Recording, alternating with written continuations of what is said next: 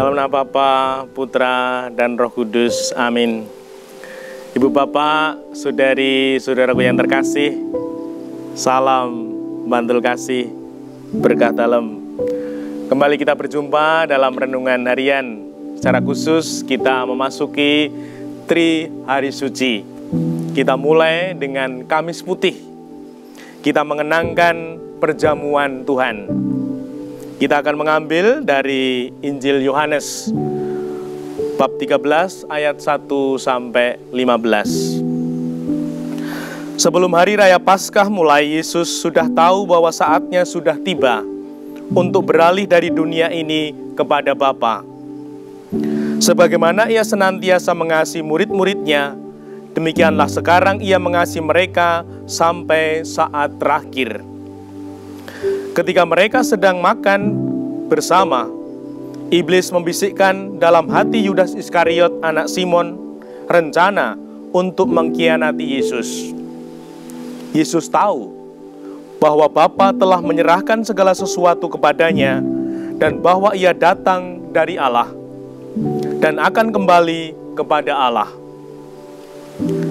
Maka bangunlah Yesus dan menanggalkan jubahnya ia mengambil selai kain lenan dan mengikatkannya pada pinggangnya.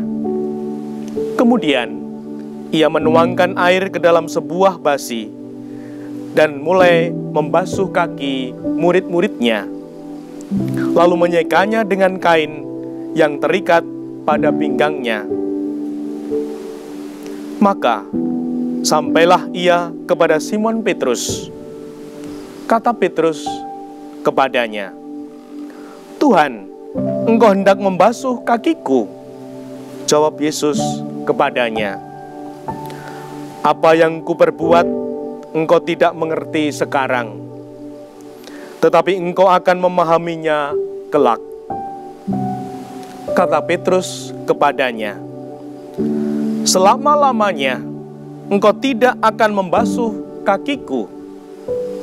Jawab Yesus, "Jikalau aku tidak membasuh engkau, engkau tidak akan mendapat bagian bersama aku."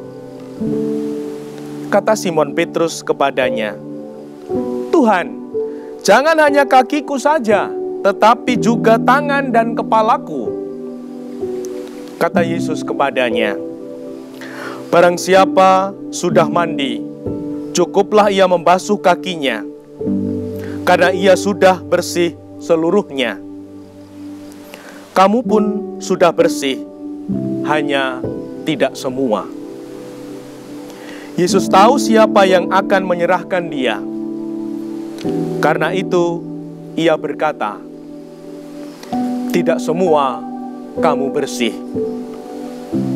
Sesudah membasuh kaki mereka, Yesus mengenakan pakaiannya dan kembali ke tempatnya Lalu ia berkata kepada mereka, Mengertikah kamu apa yang kuperbuat kepadamu?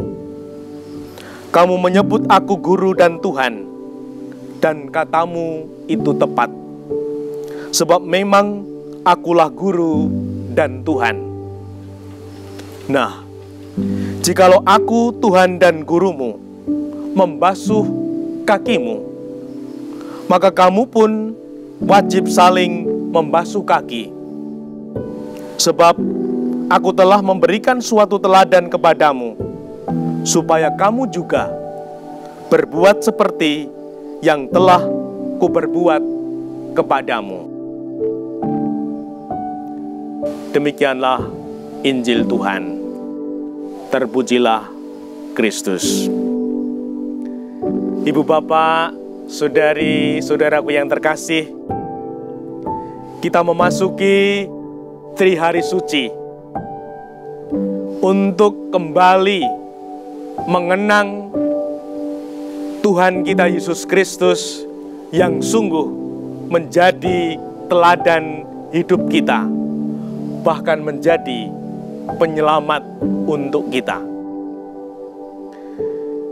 Di Kamis Putih ini, Yesus Kristus hadir sebagai pelayan yang sejati. Dia adalah gambaran pelayan yang sejati untuk kita, murid-muridnya.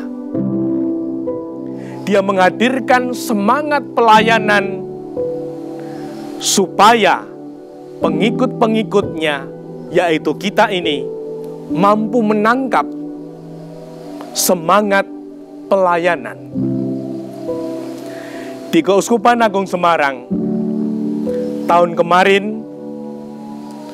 tim kerja diganti menjadi tim pelayanan.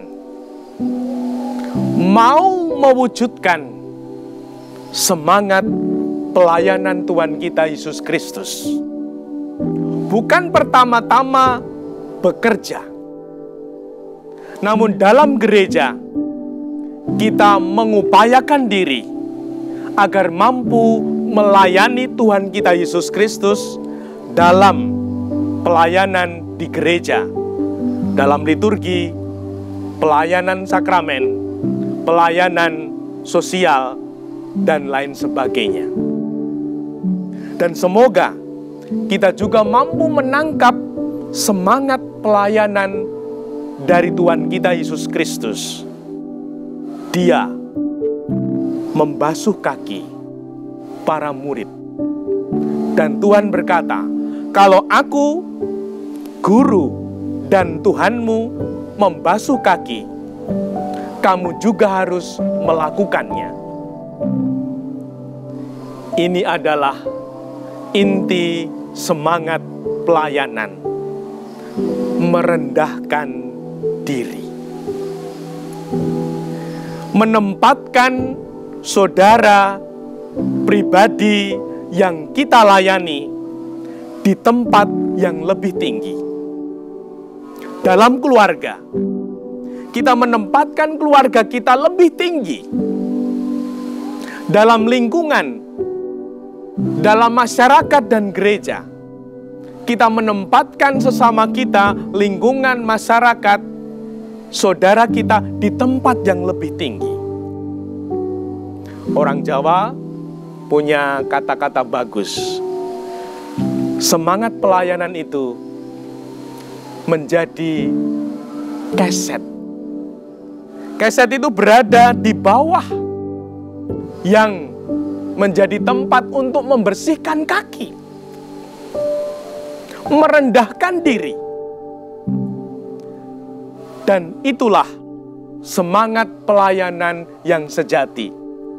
Sekali lagi, ora kemaki ora kemayu.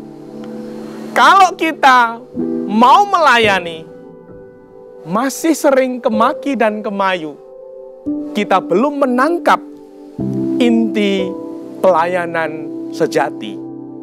Kita masih ingin dipuji, dihargai, dan itu bukan semangat pelayan yang sejati.